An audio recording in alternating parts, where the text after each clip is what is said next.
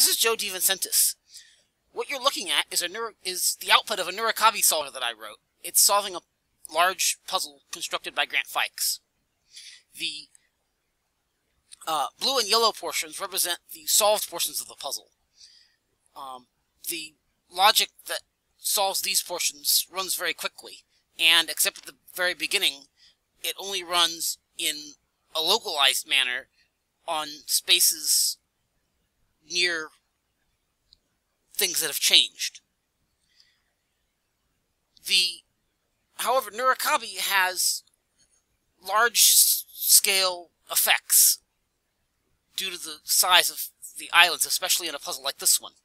And so there are two other features that are needed in order to solve a puzzle like this one efficiently. One of them is the route finder. And the red flashes that you see on the screen, which occasionally get quite large, represent the uh, activity of the route finder. It's looking at each island, and if it's numbered already, it makes sure there's enough, there's that many squares available for it without running into some other numbered island.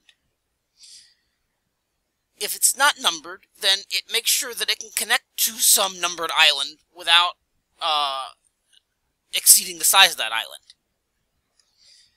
Uh, as you see, sometimes because there's not any real limit to that size, sometimes it ex explodes quite large before it decides that it can or can't find such an island. The um,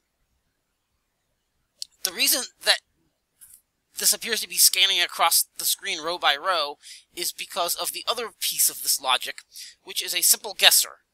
When the other ordinary logic fails, which it does in a puzzle like this quite quickly, it guesses individual squares one at a time.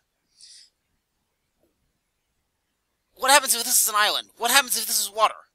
And if one of these is impossible, it chooses the other. If they're both possible, then it still may gain some inferences about other squares that are forced the same way for either choice.